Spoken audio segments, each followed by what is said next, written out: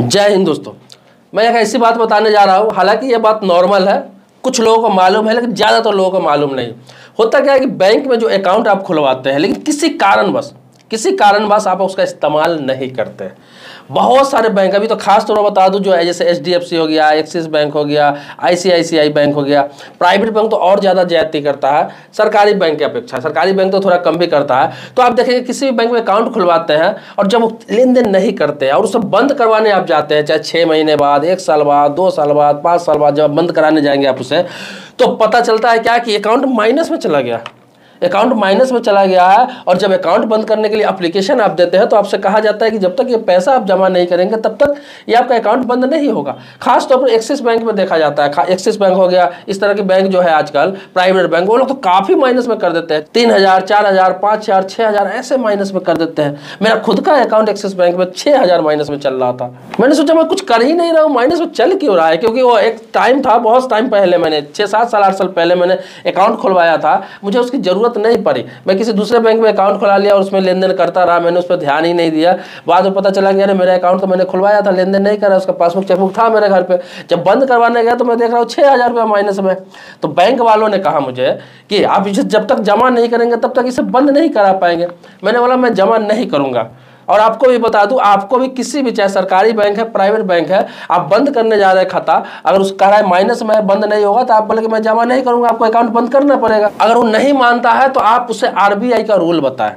उसको आरबीआई का रूल बताए कि आरबीआई का रूल है, किसी भी अकाउंट को कितना दिन से भी आप लेन देन नहीं कर रहे हैं, उसे फ्रीज किया जा सकता है ज़ीरो किया जा सकता है।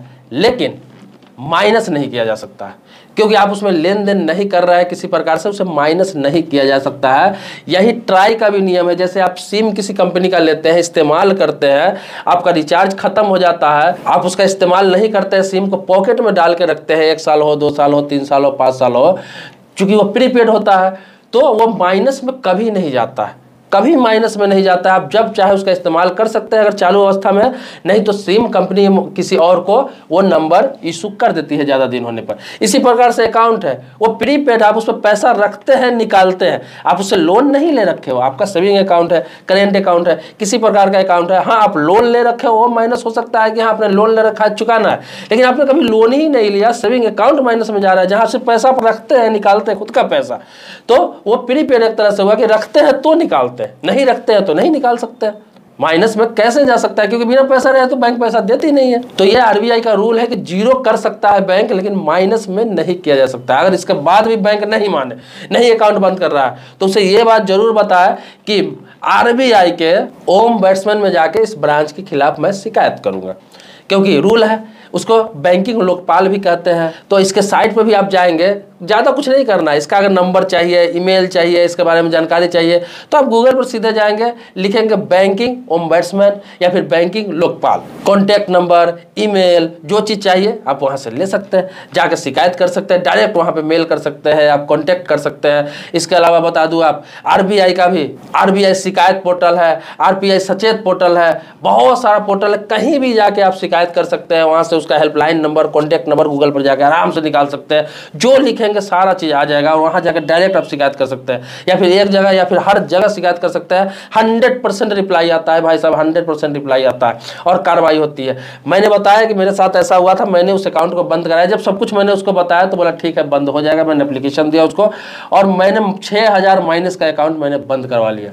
अब सच बताओ तो वो छः माइनस था ही नहीं।